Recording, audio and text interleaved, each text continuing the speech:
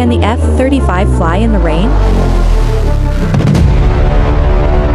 In spring 2020, officials banned the F-35A from flying within 25 nautical miles of lightning or thunderstorms after finding that a crucial system may not function correctly if hit by a bolt.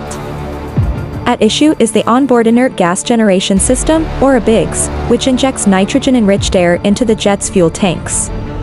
That makes the flammable tanks non-reactive so they won't explode when struck by lightning but a team making routine repairs to the advanced stealth fighter found worrisome damage to the tubes that pump nitrogen into the tanks. Lockheed claimed the problem was occurring after the jets were delivered to the Air Force. The flight restriction will apply to a shrinking number of planes as the military works through the fixes. Still, the ban is expected to last through the end of 2025, or when all affected aircraft should be updated.